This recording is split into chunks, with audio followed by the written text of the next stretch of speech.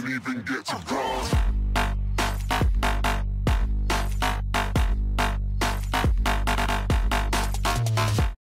Czy wiedziałeś, że w świecie DC istnieje przedmiot bardzo podobny do rękawicy Thanosa? Został zrobiony prawdopodobnie przez Lexa Luthora i leży w Bat jaskini. Jest to jednak broń o bilionowo mniejszej mocy niż oryginał. Rękawica posiada kolorowe kryształy, które są różnego rodzaju krystalicznymi minerałami z kryptona. Broń ta miała służyć Batmanowi do zabicia Supermana, gdyby ten ostatecznie miał stać się zły. Co gdyby jednak oryginalna rękawica dostała się w ręce Batmana, a ten wiedziałby z czym ma do czynienia? Bruce Wayne jako iż był obsesyjnie błąkany na tle sprawiedliwości, prawdopodobnie użyłby rękawicy, aby przemienić się w postać mogącą ujarzmić człowieka ze stali, gdyby ten zwrócił się przeciwko Ziemi. Jeżeli tak by się stało, to Superman nie miałby najmniejszych szans. Mimo, że pochodzi z kosmosu, to zna tylko te dwa światy, Ziemię i Kryptona, a jego moc kontra nieograniczona potęga rękawicy to jak walka mrówki z lwem. Batman jednak powielać swoich sił wcale nie musiał. Aby zneutralizować człowieka ze stali wystarczy tylko ruch palców. Jednak sądząc po tym, że Bruce jest tylko człowiekiem, a do tego żyje w cieniu lepszego Herosa, Supermana, to zapewne spełniłby swoje ego i niedowartościowanie,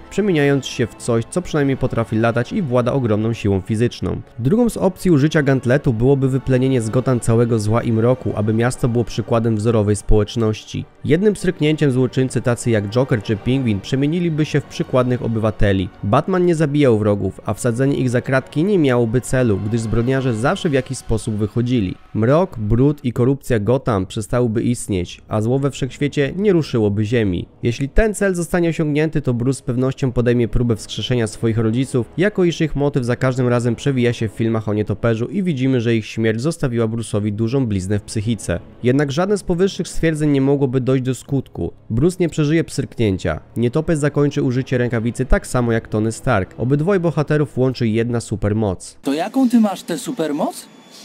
Mam kasę. Oprócz tego są zwyczajnymi ludźmi. Zatem możliwość użycia broni w kręgu Ligi Sprawiedliwości ma jedynie Superman. Gdyby rękawicy użyła Wonder Woman lub Aquaman, to prawdopodobnie ponieśliby ciężkie lub nawet śmiertelne skutki. Dzięki za oglądanie. Jaką postać ze świata DC lub świata kina chcecie zobaczyć jak włada rękawicą? Dajcie znać, a na pewno pomyślę o tym i stworzę filmik z alternatywną wersją wydarzeń. Do zobaczenia i cześć!